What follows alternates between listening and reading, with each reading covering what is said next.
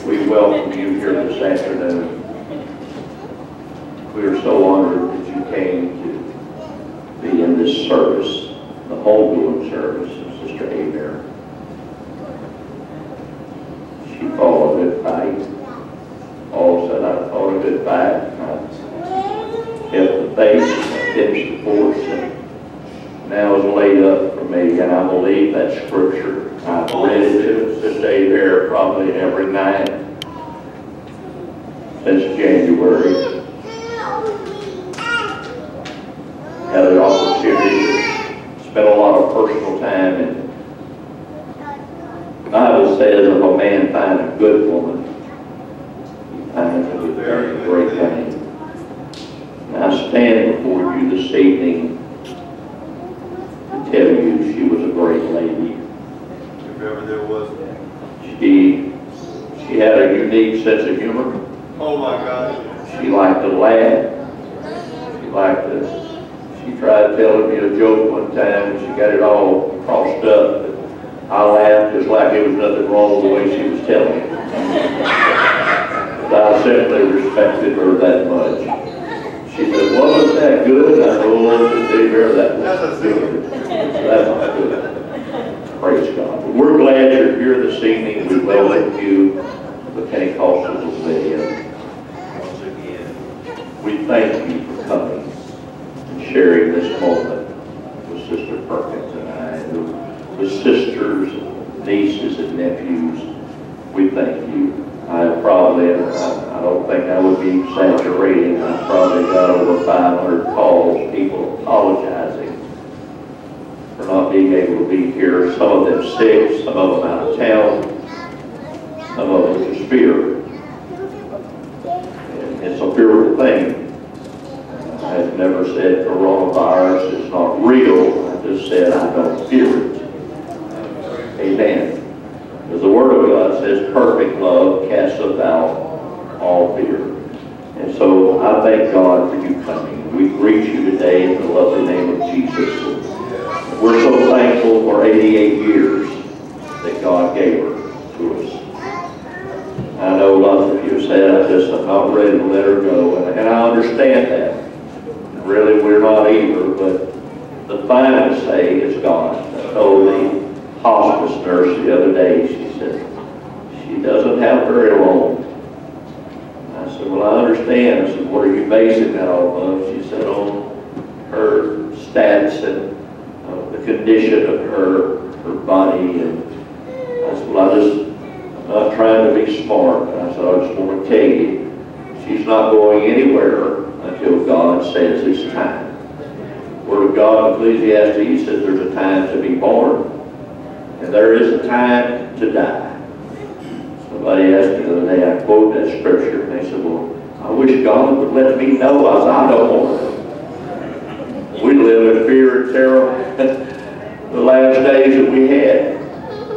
Worry about, oh God, tomorrow's the day. But I understand the sovereignty of God. God is sovereign. He's too wise to make a mistake. The devil never slips up on his blind side because God does not have a blind side. He really doesn't. God is our Alpha is our Omega. David said, Surely goodness and mercy shall follow me all the days of my life, and I will dwell in the house of the Lord forever. If I understand correctly, and I think Steve Hare received the Holy Ghost around 15, 16 years old. God has kept her all these years. I remember when Sister Abear, and I'm not going to be long, but I remember the night that Sister Abear said, well, I'm- at Sunday, Sister Sunday, she sat there with her head down all morning. After church, I went to her and I said, Sister Abear, are you okay? She said, you should take me in the field and shoot me. I'm not worth a flip, and that's just the way she said it. I said, well, you need to stay home tonight and don't go to Highway. I said, just rest tonight. I said, you go all the time? And she said, no, if God wants me, he can get me an aisle way just like he can in Lydia. And she went, sang a song, and they had to call an ambulance. From there, she went to Tulane. I was staying with her and stayed six or seven days in ICU. And Steve had her days and nights fixed up. And she kept wanting to climb out of the bed. So I took the hospital bed and I shoved it against the wall. And I got my recliner and I shoved it against her bed. And I said, that way, if she tries to get up, she'll step on me and wake me up. She did. She stepped right over the middle of my stomach. And I said, Mom, where are you going? She said, I need the potty. And she got back in bed and she started talking. And this is what she said. Ronnie, why didn't God just take me? And he let the stroke overtake me. Sometimes people ask questions you have to kind of think about a while. But I just simply said, Sister Cal, Mom, you ask Jesus when you get to heaven. I don't know. But that, the whole time during her sickness, she asked me that I don't have any times. She said, I don't like living like I'm living. I said, well, what you need to do, Mom, is help me to trust God that God's going to heal you. She said, well, I've been doing that, but I tell you what, I changed my prayer. Said, What are you asking now? She said, I told him if he ain't going to heal me, let me go to sleep and just take me. And that is precisely what God did. She went out in her sleep, no pain, no suffering, just went to sleep. She inhaled a deep breath, Sister Rowe, and when she exhaled, she stepped on the shores of the Pacific. And that's the way I want to remember it. There's an old song that says, that's my story and I'm sticking to it. That's how I feel. Uh, I don't regret one thing that, that has happened in the last year. It gave us a chance to get even closer. I told someone a while ago, I said, it never failed when I picked her up, used the bathroom, or I put her back to bed at night. I pulled the sheets up and make sure everything was straight. She'd always say, I love you, son, and thank you. I said, Mom, there ain't no thanks necessary. This is just what we're supposed to do for each other. Even the last two weeks of her life, when she just quit talking, she would look at me when I put her bed and just blink. And I could hear her saying, thank you. So we're glad you're here today to remember Sister Abear. Sister Abear, the last few years, she would go on Sunday night for the Rogers, Sister Lynette. They would go to Highway, Sister Sunday, and then church. And sometimes she'd come to the house and, on Sunday evenings and sit there, and you could tell she was sleepy. This is before the stroke happened. And she'd tell me, now, if I go to sleep, you wake me up, because Roger's coming.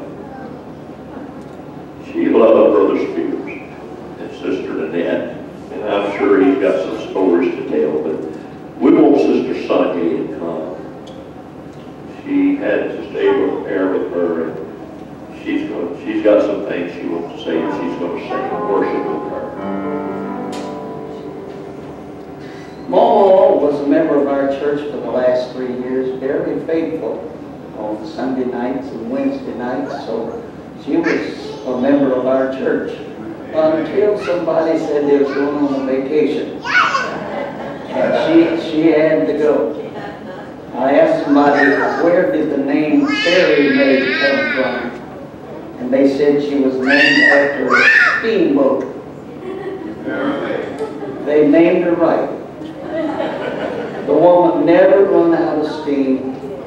She had a lot of funny stories to tell, and she kept us entertained. We're going to miss us, miss her so much. Uh, she sang every time she came to our church. This song I'm going to sing, I, I never sing it, but I think she sang it more than any other song.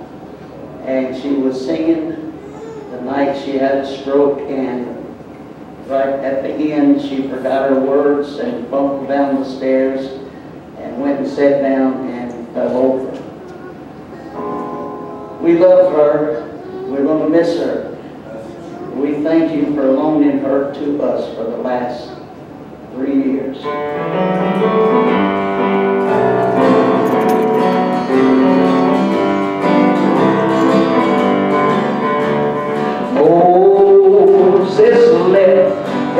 Children.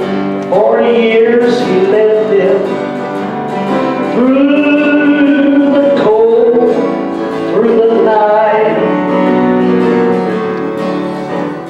Though they said, let's turn back, Moses said, keep on going.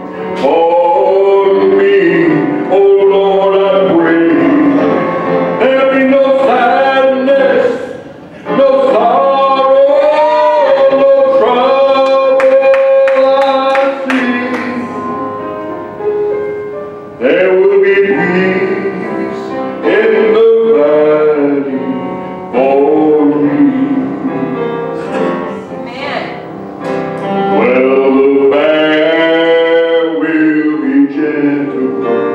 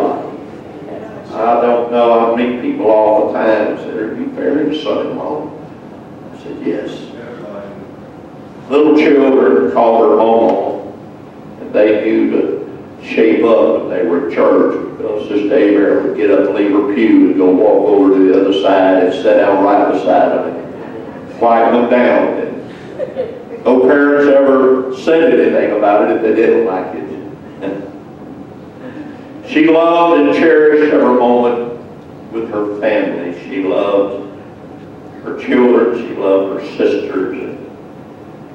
She used to tell me one time a year, Vivian and I are the same age. they were only 11 months apart. She, she kind of cherished that time when she was same age as you,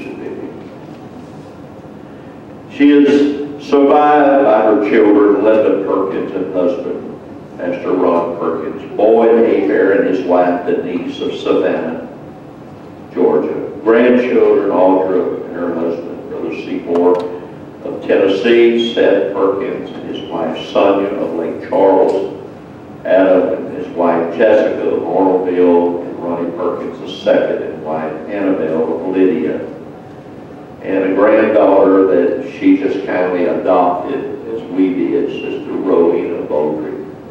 She loves Sister Row. She had great-grandchildren, was Katie and Chris Seymour, Natalie Mason and Emma Perkins, Ansley, Allie, Liam, and Connor Curtin, all of Georgia. Daisy Seymour, of Lydia, Vivian Doty of Kenner, Louisiana, Audrey O'Lander of Jittered, Lucille Miguez of Rayville, Louisiana, Cheryl Borrell of Lafayette, Anna, Anita, I'm sorry, Borrell of Louisa, Brent Borrell of Avery Island and his wife Patsy, and Connie Borrell in La lives in Lafayette. Sister Mary was preceded in death by her husband, Reverend Andrew Bear, and her parents, Stanley and Nellie Pinell Borrell. Honored to serve as pallbearers today are grandson Seth Perkins, Ronnie Perkins II, her adopted son Roger Spears, Brother Paul Archangel, Brother Ricky Lateef, and Brother Donald County. Family would like to thank Grace Hospice, especially Nurse Chelsea, her doctor Michelle Bernard, and her nurse Mary, and a host of her friends for all their care and compassion. In lieu of flowers, donations can be made in Miss Abear's honor to a place that she truly loved, Tupelo Children's Mansion, Tupelo, Mississippi. Family and friends will follow. She will be entombed at Beaupre Mausoleum, New Iberia. We need to understand life is but a vapor. Bible says it's here and then it's gone. I've known Sister Abear 44 years. I used to get envious because I told her, I said, you just don't age. She worked until she was 80.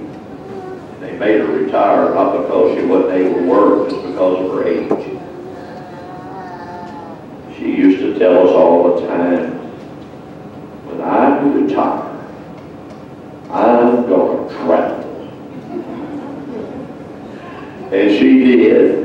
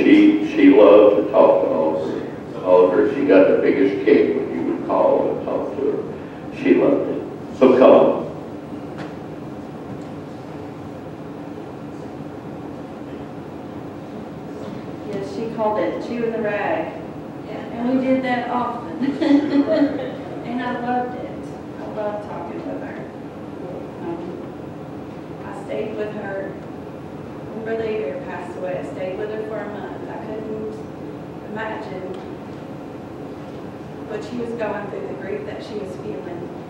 And I couldn't see her staying alone. So I stayed with her for a little while. And, uh, and we talked about everything.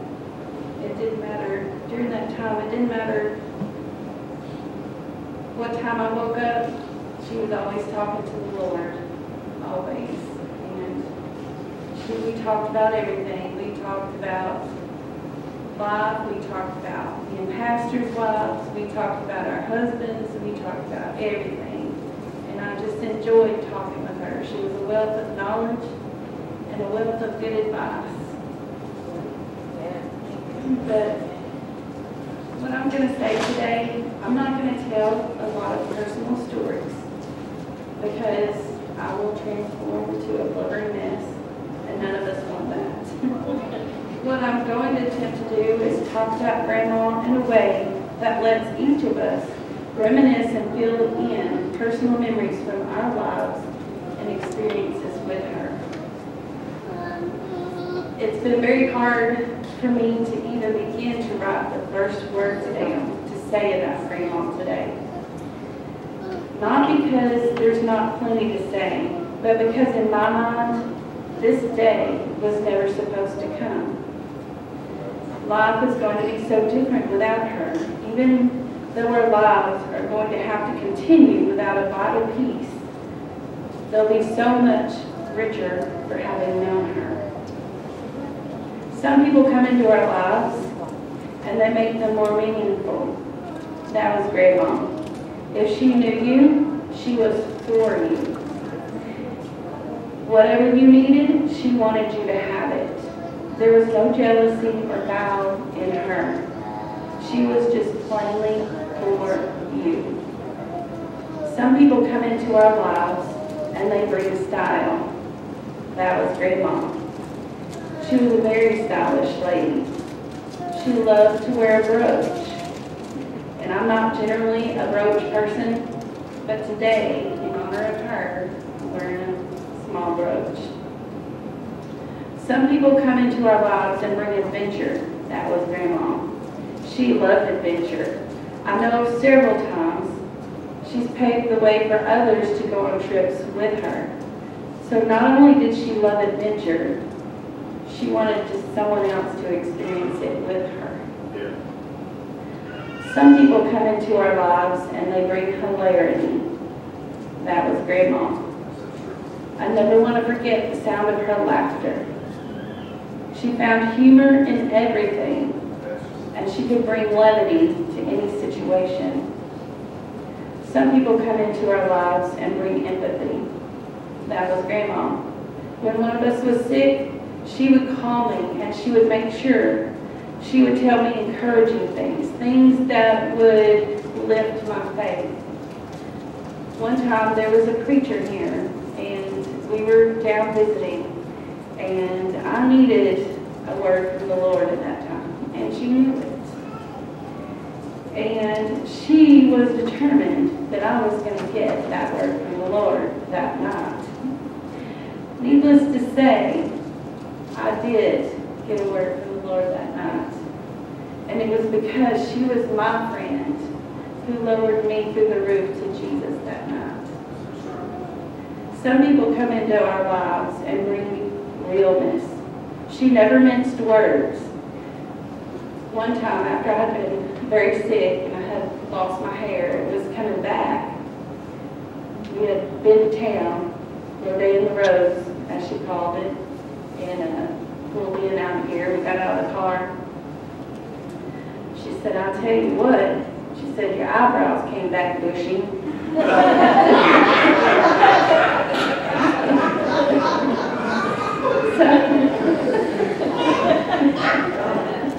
She was never fake, and she was never tell, never afraid to tell me what I needed to hear, and I love her for that. Some people come into our lives and bring faith and prayer and all things spiritual and godly. That was Grandma. She always had a word of wisdom for me, whether it involved everyday life or being a pastor's wife. Some people come into our lives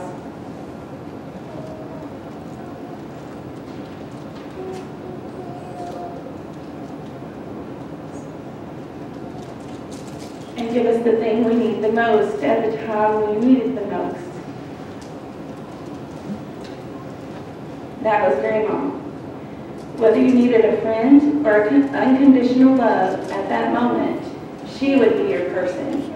If you were in desperate need of a confidant or in need of a hug, she was there to provide you with either. She would cry with you or laugh with you. If you needed something crocheted or sewn, she'd be right there to do it. If you needed prayer, you would have it. I could go on and on with a list of all the things she would do for us and others. So let me just say that she was there to serve us all with her whole self. She was the epitome of the Proverbs 31 woman. Proverbs 31:10 says, Who can find a virtuous woman? For her price is far above rubies. This day was never supposed to come. Truly, we've lost so much more than rubies. We've lost far more than the whole ruby mine. But in all of the ways she served us, and in all of the ways she's provided for us, she has left a piece of her in each of us. And we must live life to the fullest and let that extraordinary piece of ruby shine. Yes. Yes.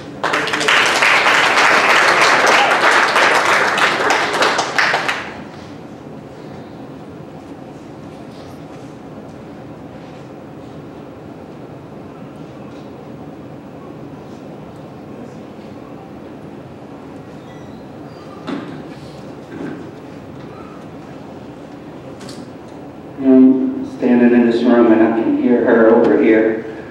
Andy, they don't have a scripture. Give to them, give them one. And he would. She never left anybody out. Proverbs 20, I think, expresses her. Proverbs, uh, actually 31, verse 20, and 21 and 26, I think describes her perfectly. She opens her arms to the poor and extends her hands to the needy.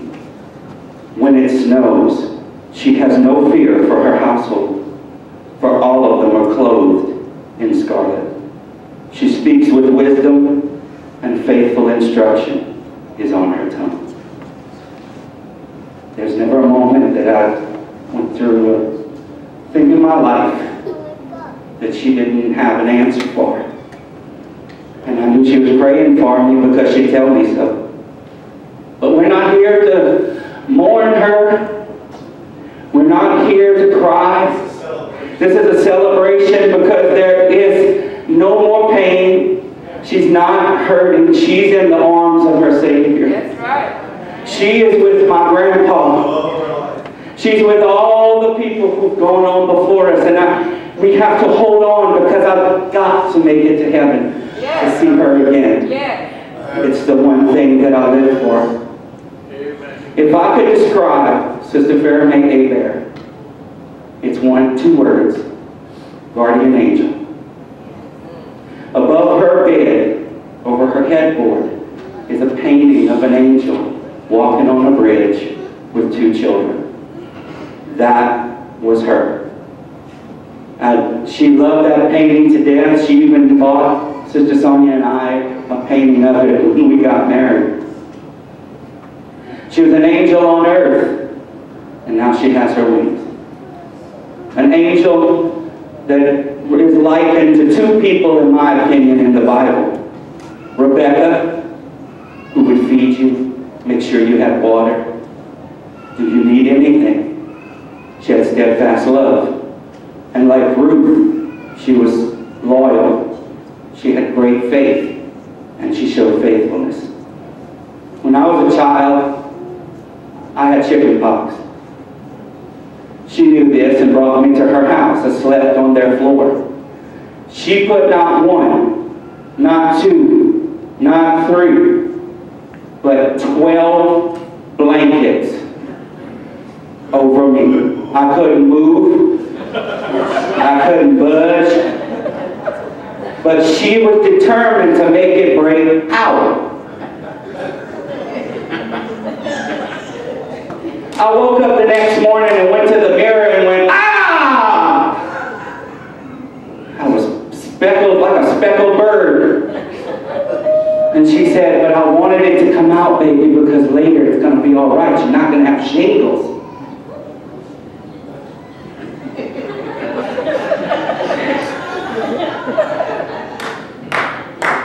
She was a beacon. She was a house that stood, that stood on a rock.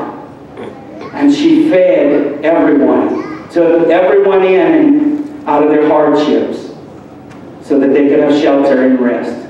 She was a beacon in a lighthouse for ships that could have crashed, but the light of her life guided them.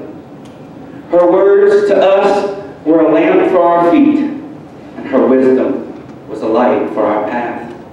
She was spunky. She was full of life, and I wouldn't have her any other way.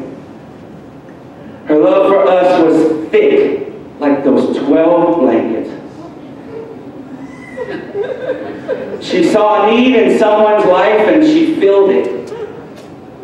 A woman who, the Bible says, who can understand a love like this? She was a woman who saw a weary strugg- and struggling person and she nurtured them.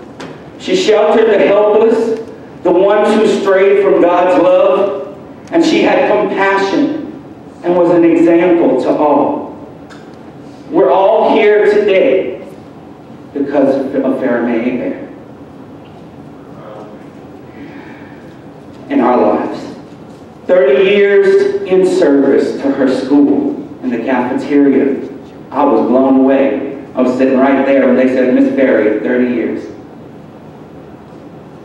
But she was a hard worker. I can't tell you how many times she'd come home and there would be burns on her arms because of those big pans that she had to carry in the school. And she did it because she loved children. She would talk to the kids while serving them. It was something.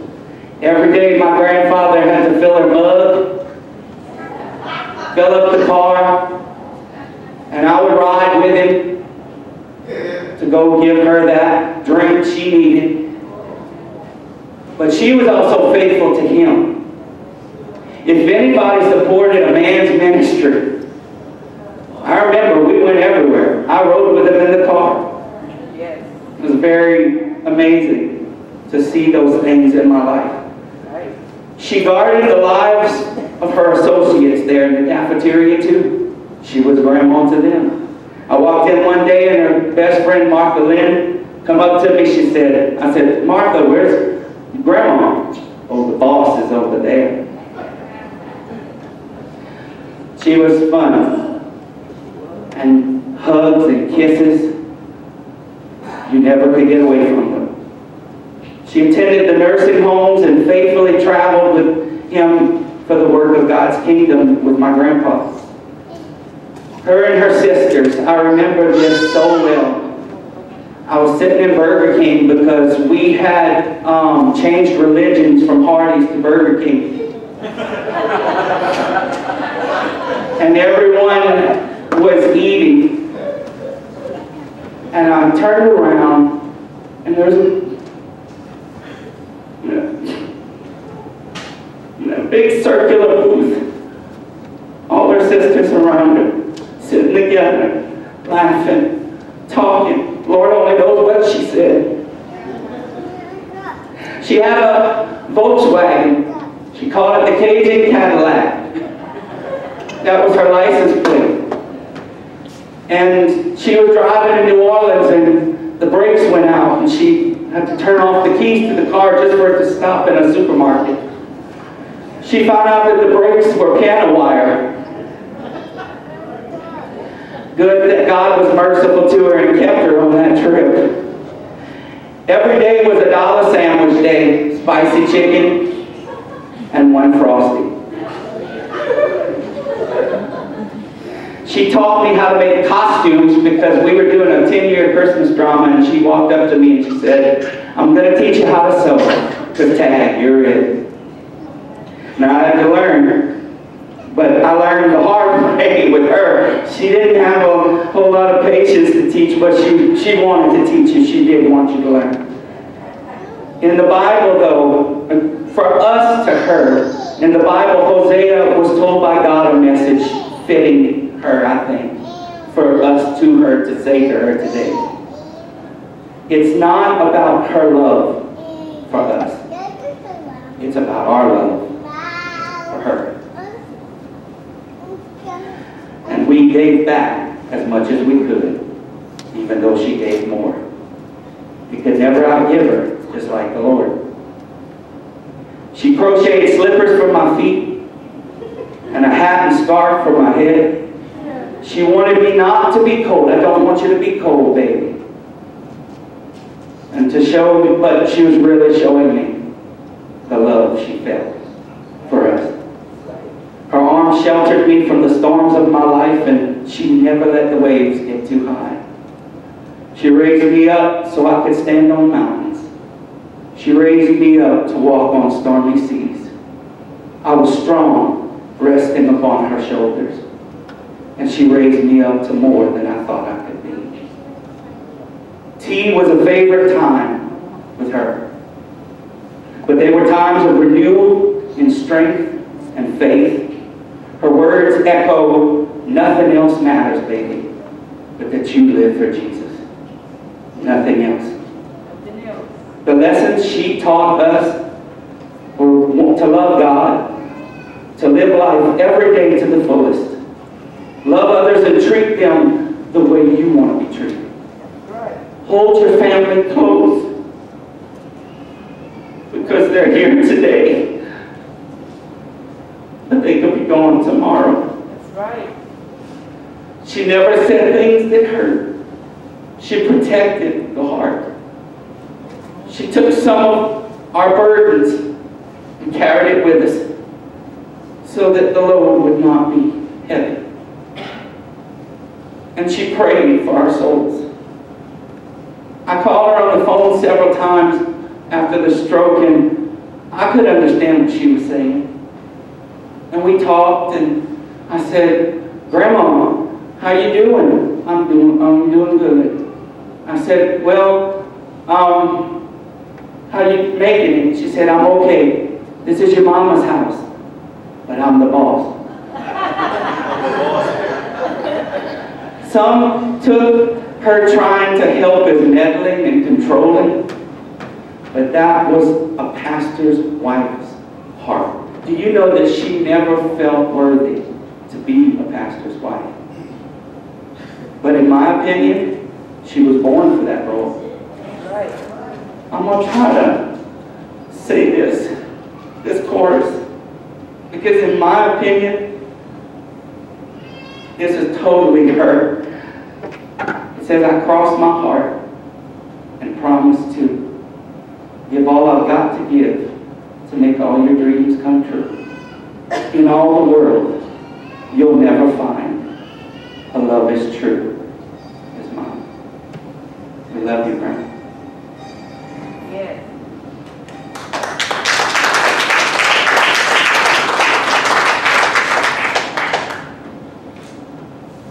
Today is an extremely hard day for me.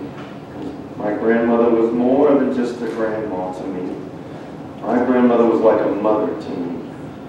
Also my grandfather. I can't remember a time I was never with him. My grandmother, I describe her as a rare jewel, a rare diamond in the rough.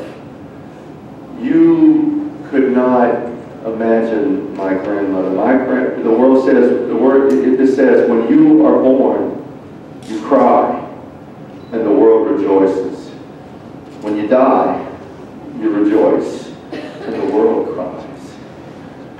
Today, mom, I weep for you, but that's because I don't want to be selfish. I wouldn't call you back for anything because you, you're with your handsome sailor this morning.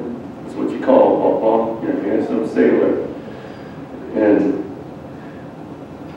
if I had a book, it would take years to read because the unique things that she would do with us as the grandkids is priceless. You can't buy that with money.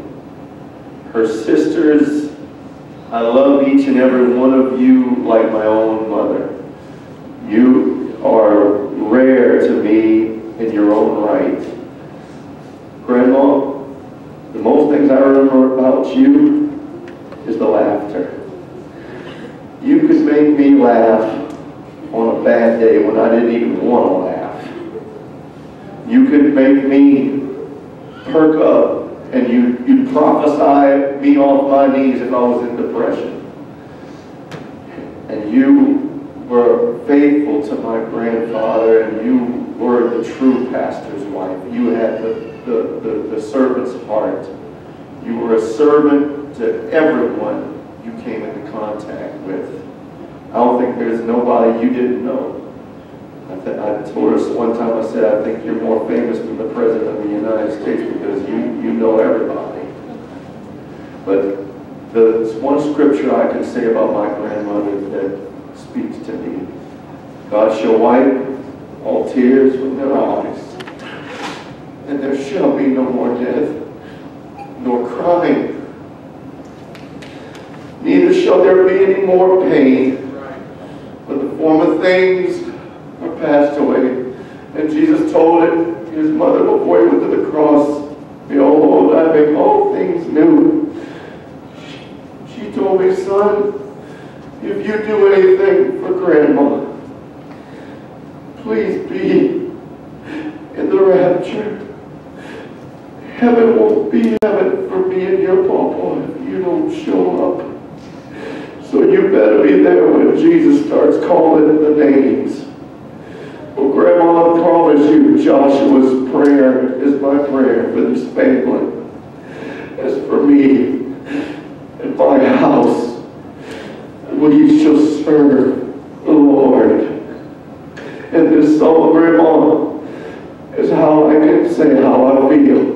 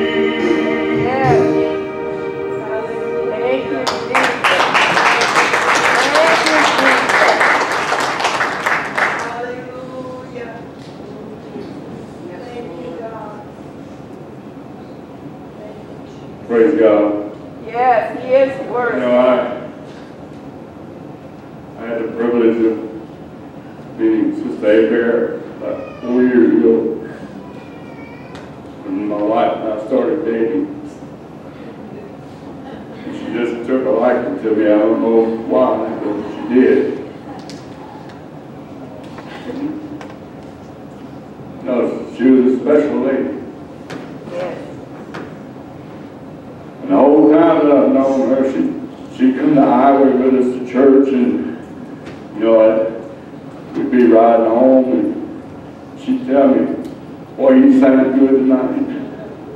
Or, boy, you had a good message tonight. And I knew it wasn't always true. But that's who she was. She lived through up. She never had a bad word to say about anyone. That's Right. Everywhere we went, people loved her and truly loved her. She was a people person. Yes, she was. She touched my life. She she adopted me as her son. Yeah. And when I really realized what a special relationship we had, then she came up to me one day and she gave me one of Brother Hebert's ties. And I was told that you need to cherish that because she does not do that. She doesn't do that for anyone. So we had a special relationship. She loved to make people laugh. She made us laugh. We, we leave here to go to Highway, and she would talk from the time she got in the truck till the time we got out of church. Right. And then she would get back in the truck and she would talk from the time she got in the truck until we dropped her off. One thing, one special thing about Sister Hebert is that you could never talk about anything that she did not have a story. She had a story about every situation that you could ever come up with in life. She's done it. She had a t-shirt, refrigerator magnet, the whole nine yards. Right. Sister Hebert was very special to me. Yeah, She's gonna be sorely missed. that's true. She's gonna be sorely missed. She's a, always upbeat, always happy, Yeah. and she always, always just made you feel like you were living life. when you were with her. It was just a, a pleasure, joy to be around her. You know, it's, it's, it's like, what do you have in common with an 85-year-old woman? 85-year-old woman's got a store for everything. So we've got a lot of things in common. she, she's done it. And, you know, she, she would give us advice. She would tell us, you know, about God. She, she told us all kind of things that, that, that was beneficial to us. There are people in your lives that are going to come into your lives and they're going to be a positive effect in your life. They're going to be good for you. And she was one of those people. She was good for us. She, she just gave us everything. And she's just like a mom. And we hate to see her go, but one day, one day we will meet again. Yes. And I'm not going to say goodbye, I'm just going to say it until we meet again. And I want to run up to her and hug her the day that I hope you okay for her. Yeah. Praise God. Uh,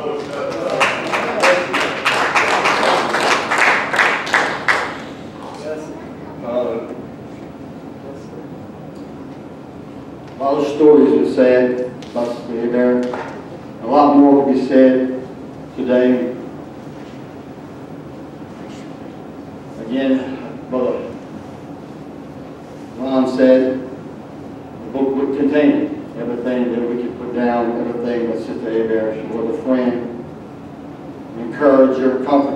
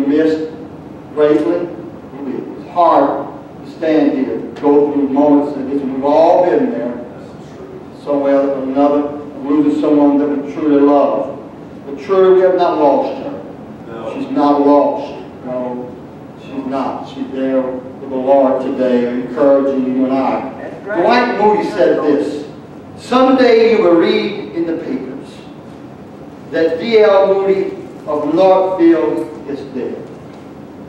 Don't believe a word. At that moment, he said, I shall be more alive than I am now. If anybody's alive, she's alive. That's right. I shall have gone higher, that's all. He said, out of this old body, I'm this old body that decay, I'm going to take on a new body that sin cannot touch. He said. He said, I was born in the flesh in 1837. I was born in the spirit in 1856. He said, that which is born in the flesh may die, but that was born of the Spirit lives forever. Amen. She lives forever. That's right. And they said, you received the Holy Ghost at 16, something like that. She was born of the Spirit. It's very important for all of us to be born of the Spirit. And that voice that she's crying out today, come up higher, nothing what it's saying. Make sure you're born in the Spirit.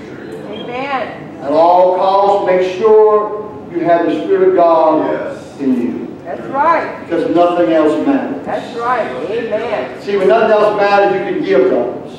That's You can it. give things away. That's right. Because you understand the important, the value of things. And the most valuable thing that you have today is your soul. That's right.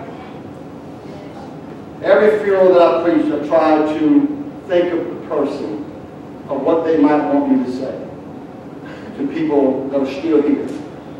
One of the things I believe she wanted us to say is, you know, make sure you're born Yeah. of the Spirit. That's right. Amen. Make sure you have the Lord in your life, because nothing else matters. That's right. Nothing. else. He said, Dwight Moody said, uh, a few hours before entering his place of rest, he said that he said that he caught a glimpse of the glory that was awaiting him. And he was awakened from sleep, and he said, "Earth recedes, heaven opens before me." And he said, "If this is death, it is sweet." See, we've never crossed the other side. That's right. We don't know nothing about the other side. Uh-huh. And Uh-uh. sometimes it can be maybe frightened, scary maybe. For those that are born of spirit, not.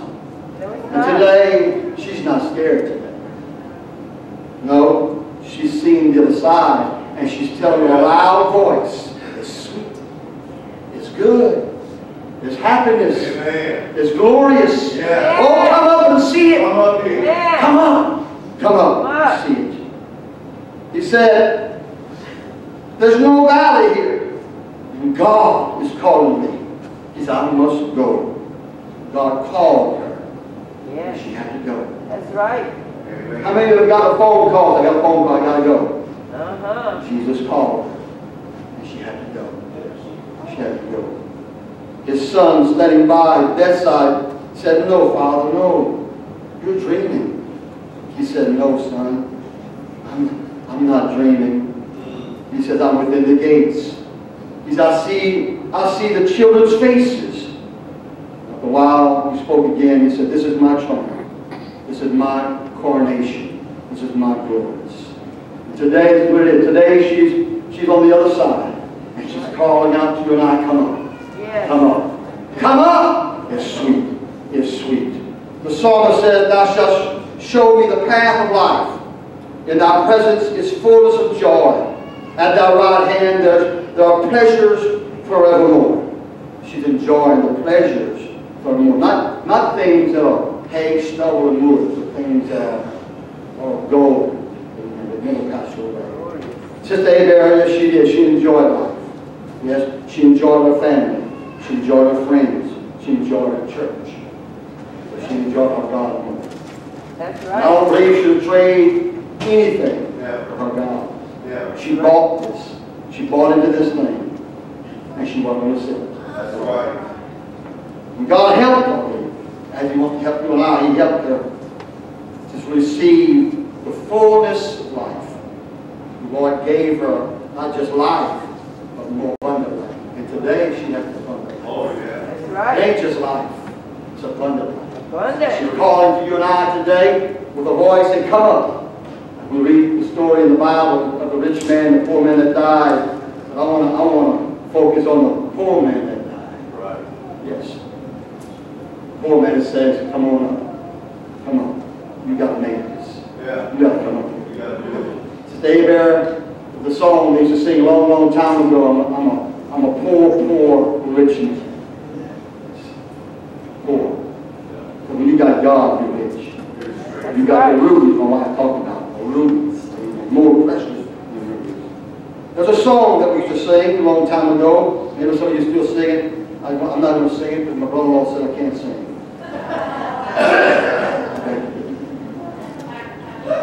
But I'm just going to say the word, and you know the song. It's one of the old songs in the song book. It simply is, I got more to go to heaven. now. I ever had. I've been on my way to heaven for a long, long time. And many things happened that's clouded up my mind. But I'm going to turn. Yes. Lord, now Lord. I got more to go to heaven for than I had yesterday. Yes. I've been through some lows and valleys, climbed the highest hills. I've known the joy of living in the center of God's will. I've watched the angels come and take. My love was on the stage and watched the Lord come and take my life. Great love and away. I got more to go to heaven for than I had yesterday. There's a golden street to walk upon. Bells are going to ring. And a brand new angel in the choir. I'm going to hear her sing. There's a brand new. There's a brand new angel in the choir. Brand, she used to sing a lot. She used to sing a whole lot on this pulpit. Used to say she had, she should gave her a life a long time ago. She's in that choir. Yeah. She's alive. She's singing all the things she got, everything she has. I got more to go to heaven for today than I had I yesterday. hear her sing. There's one more person in heaven I want to see again. How many you want to go to heaven today? I want to see her sing. You want to see her, make sure you're born again in the water and the Spirit. Because there are a lot of our people have gone before us, and she's one of them today. Amen. And the Bible says, there's a lot of friends awaiting when I walk through the gates. I got more to go to heaven for. Yes, Steve. Today, uh, I got more to go to heaven for. Yeah. Because I want to see Sister Hebert. Oh, yeah.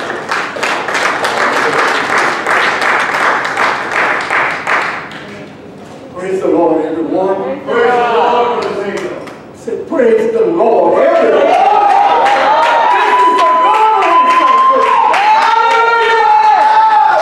Each and every one of you that came forth behind this pulpit had a beautiful testimony about Sister Hold on there. Don't you never let that go. Yeah. That's the truth. I don't know her like you know her, but I tell you what, her spirit bear witness with my spirit Yeah. that we are the sons of God. Right now, we cry out of heart. I know Sister Ann there about the spirit that she carried. Yes. Amen. up. She was a born again believer and a born again liver. To the death. Yes. To the death. Yes, sir. And my wife and I attended this church. Sister Abraham came to us and she spoke to us. Listen to me well.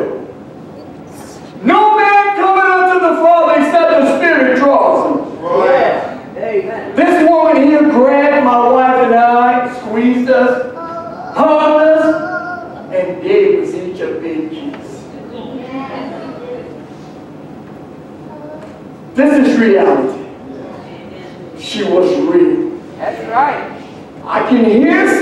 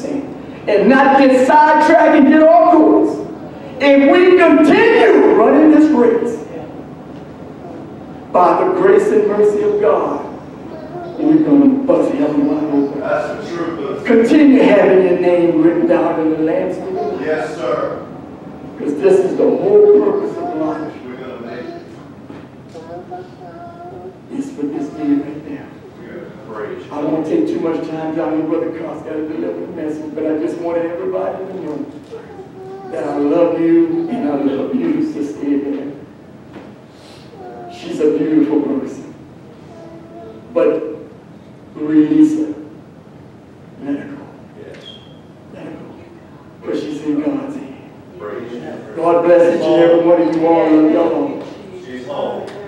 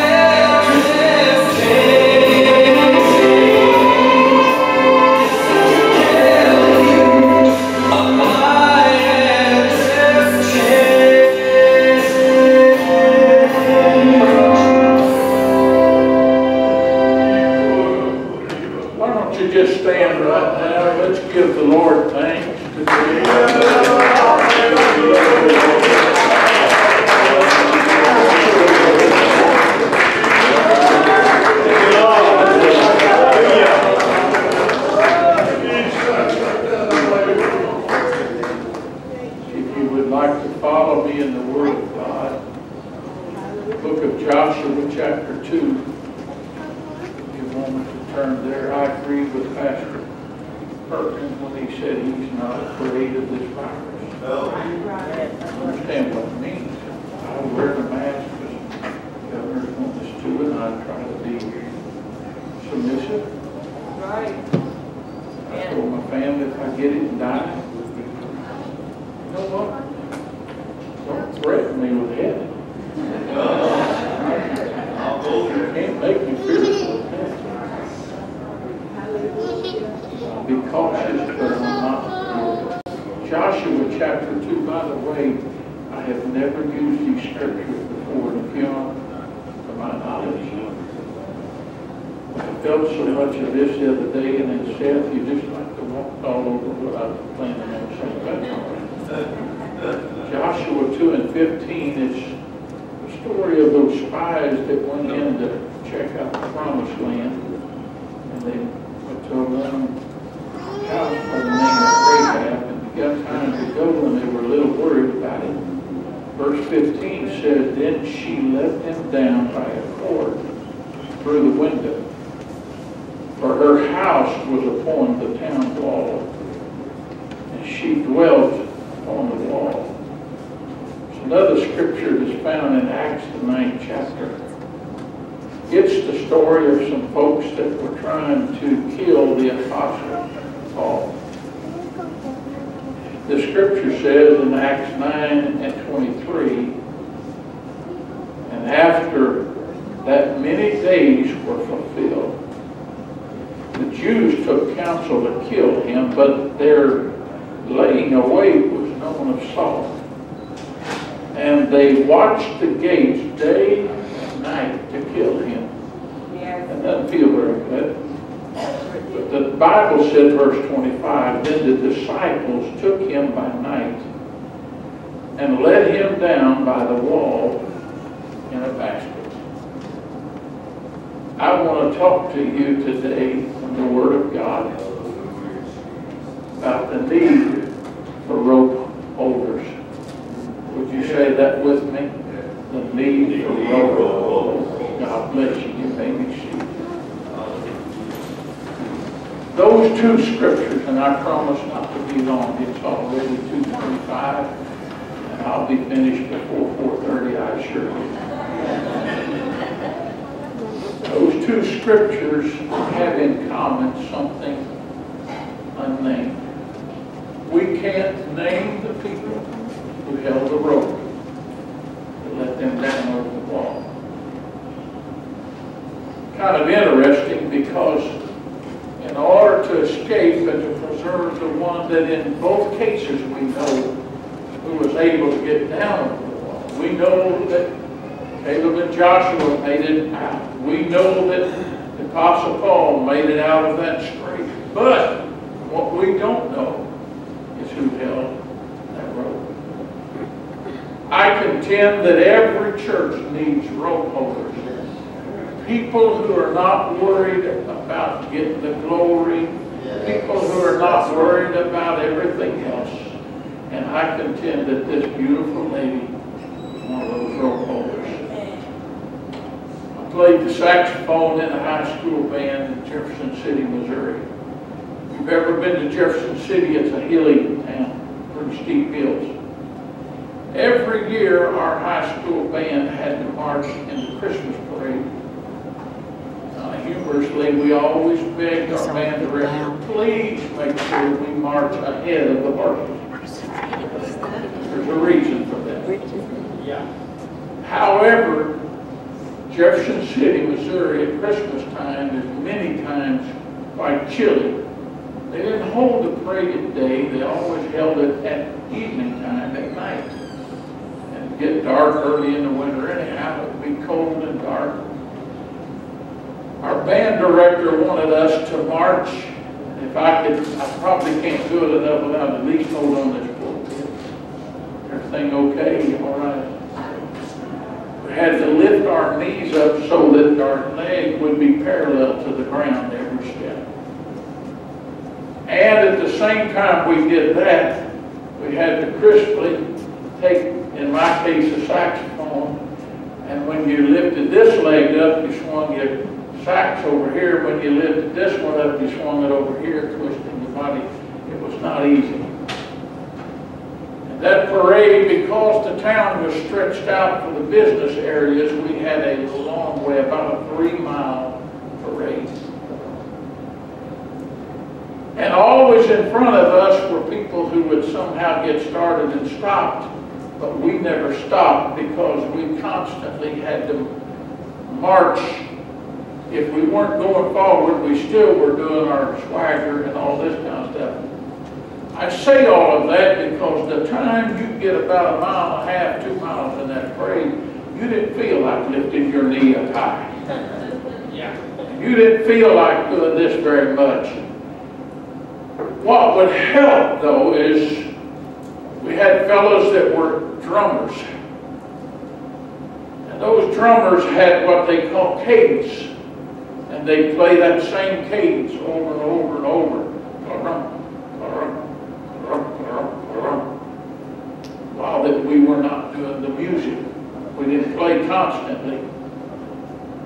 Sometimes you'd think, I can't go another step. And the director would have the drummers change the cadence. And it would put a pep back in your step and you could go a little bit further.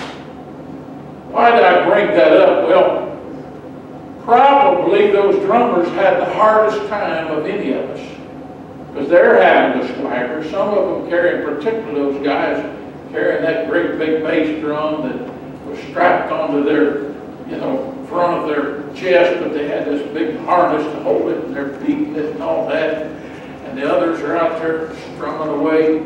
Maybe the tuba players, maybe they had a little tougher. I don't know, the heavy weight of those things. I, I was envious of the piccolo players, you know, but anyway. But the drummers, while that we didn't have to play, the drummers never stopped for approximately three hours. And yet, when you talked about the band, you never talked about the drummers. They didn't carry music because they just played the drums. We all had to read the notes and all that kind of stuff. Can I tell you, such is the life good pastor's wife. You've got to constantly keep drumming. Even when you're weary, when you're tired, when you're worn out, you've got to keep drumming. Because see, as a pastor's wife, I'm talking about a precious lady right now, Sister Hebert. As a pastor's wife, you've got to not only uphold the members of the congregation, but you've got to be an encourager for your husband. Right. True humility comes when you're willing to do the work and not be worried about who gets the credit. That's right. Here's one thing I've noticed. I've noticed that every church I've ever been in is filled with willing people. Some who are willing to work, and others are who are willing to let them work.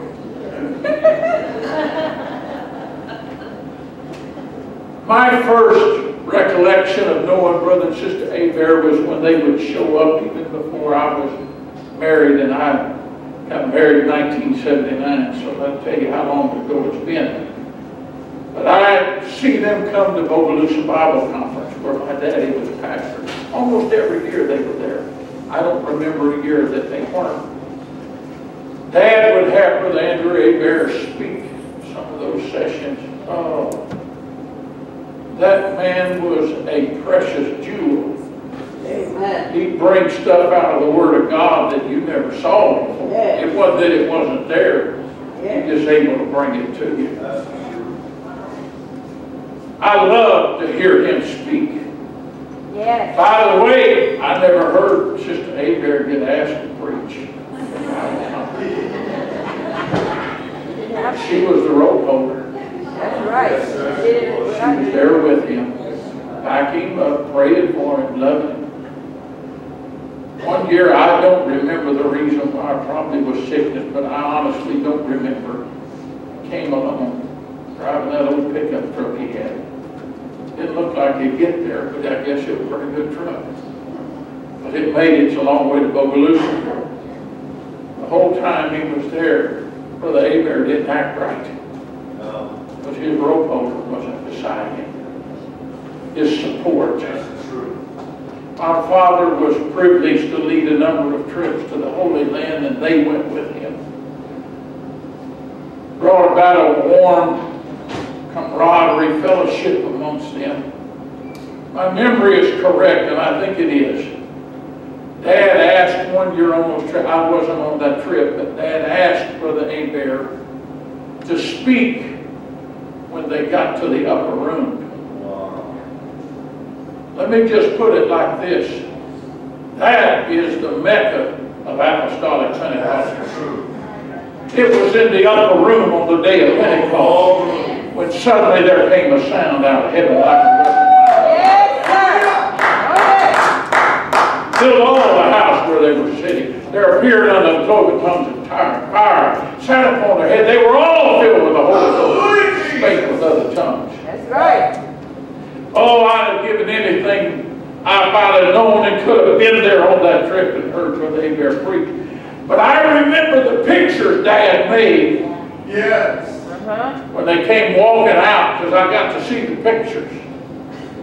As they came walking out of that upper room, Brother and Sister Hebert had been drinking something. Yeah. It was that new wine of the Holy Ghost.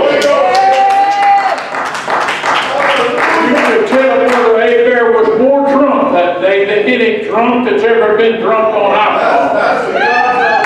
And she staggered out by him. Why? Because that's what the Holy Ghost is all about. That's right. Hallelujah. Now, if you can get drunk on the Holy Ghost on this earth, and you can't because they did, That's right. Amen. can you imagine the celebration Wow. that's going to be going on in heaven when Sister Abraham, the rope holder for her beloved husband, is reunited with him? I have a feeling that little Frenchman Yeah. Is going to grab her hand. Yeah. There's nobody ever danced before like they're going to be dancing. I just really believe that. I love history. One of the characters of history that's always impressed me is a man by the name of Winston Churchill guy. His ability, I, and my history teachers taught us, they said, it was his ability to change the mindset of the people of British Isles that helped them to be able to face the enemy. Pardon me for saying it.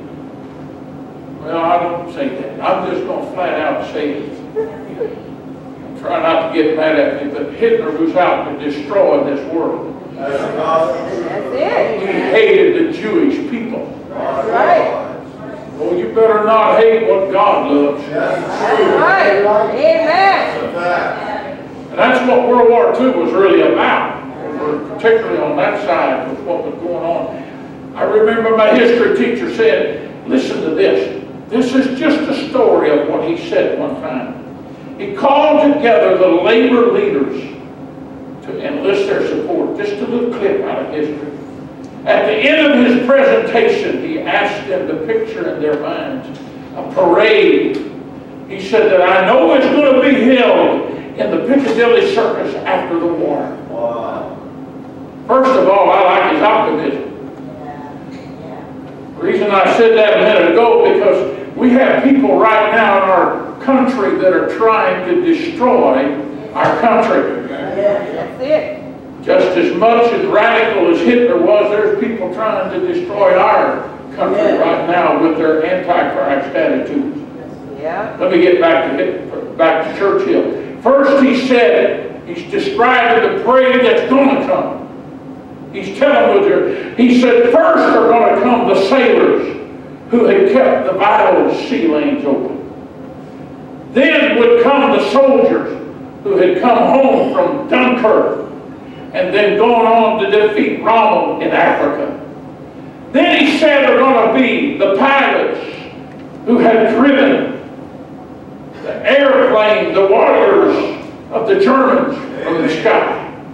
But last of all, he said, are going to come along a long line of sweat-stained, soot-streaked men in miners' caps. And someone was going to cry from the crowd, he said, Where were you during the critical days of our struggle? And he said, From 10,000 throats of those sweat-stained, soot-streaked coal miners was going to come the answer. We were deep in the earth with our faces to the coal. And not all jobs in the church are prominent glamorous. Often it's the people with their faces to the coal who are the ones that are vital to helping the church accomplish its mission, the rope holders, if you will. Because if the coal miners hadn't been producing the energy, then it's impossible to keep the armies. Amen. Hebrews chapter 6 and verse 10 says this, God is not unrighteous to forget your work and your labor of love. Right. I'm so glad God knows our labor of love. Amen. That's right. That's There's a right. lady before me that someday is going to hear, maybe already has, I don't know enough of the future to be able to predict exacts. But she's going to hear those words. Well done, thou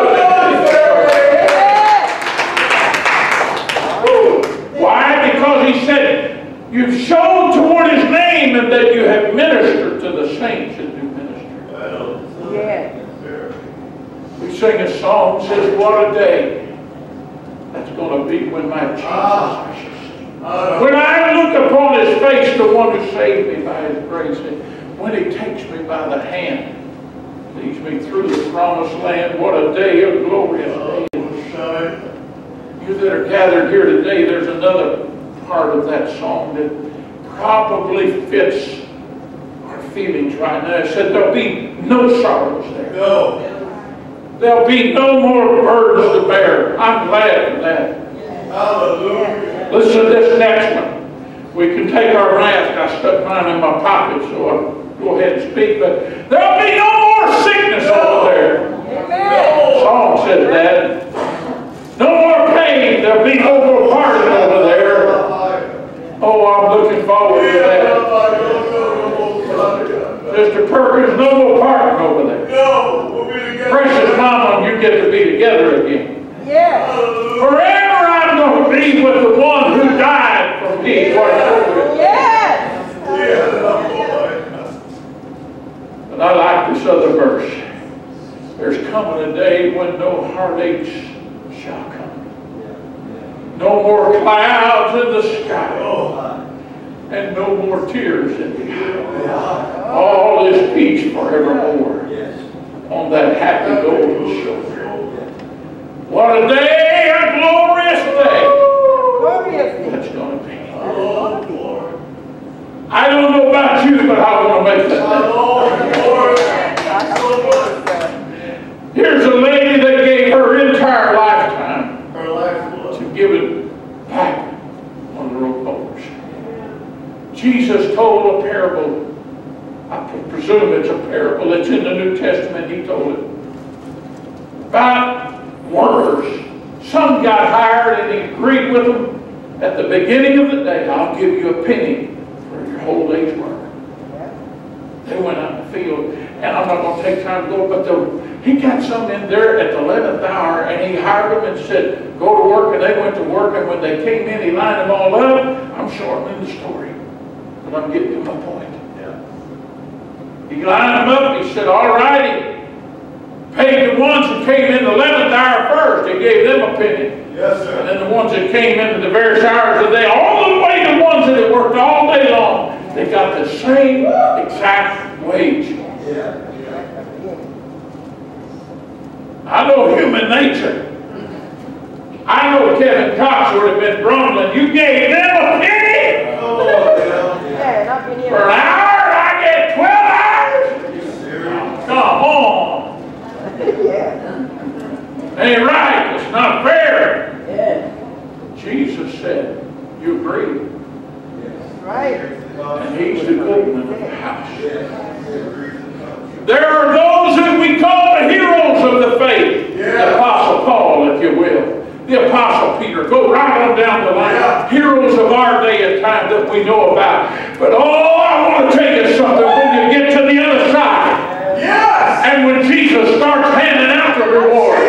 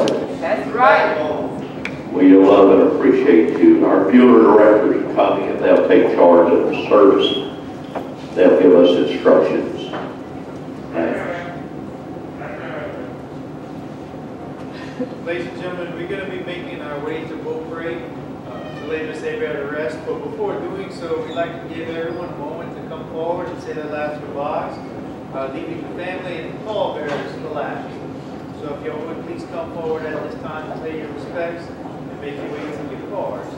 Turn on your emergency flashers and your headlights.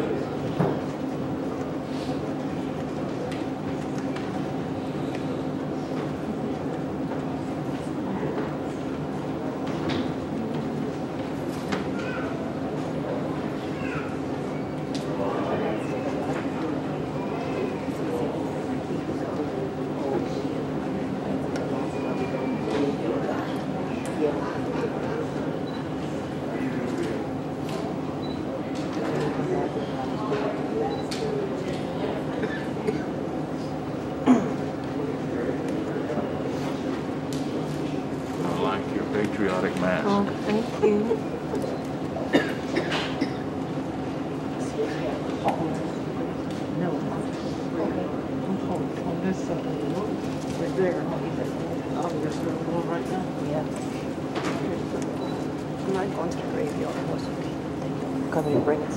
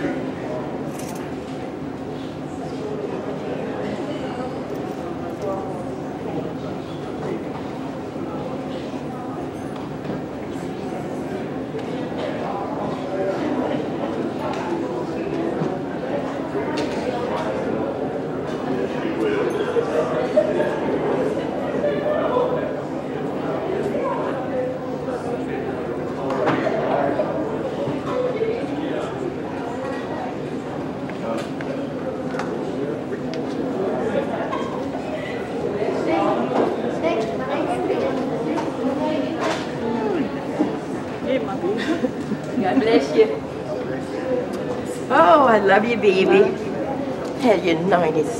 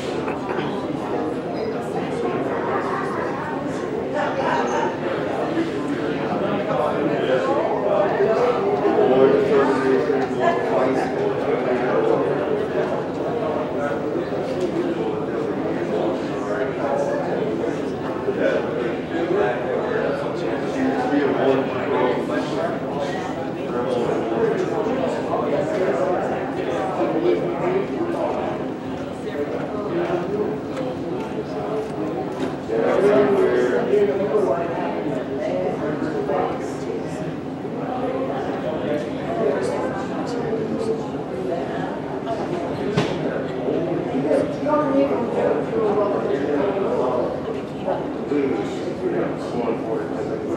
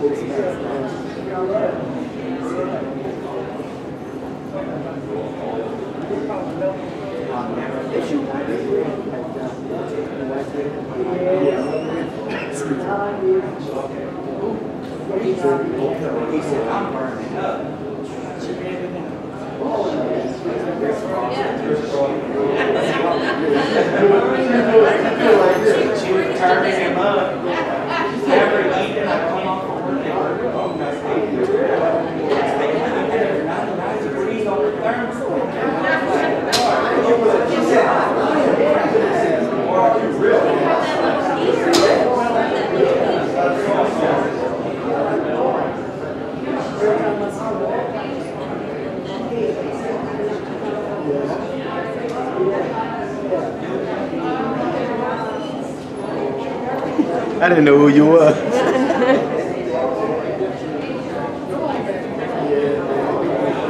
Look like a cartoon character with that hat and that red, white, and blue mask.